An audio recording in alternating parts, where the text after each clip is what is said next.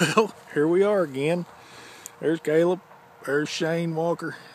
Uh, second day youth hunt. Hobet Mining's job. Julian, West Virginia. Shane just shot another one right there. Great big doe. I don't know if you can see it, but that's close as we can get to it back there.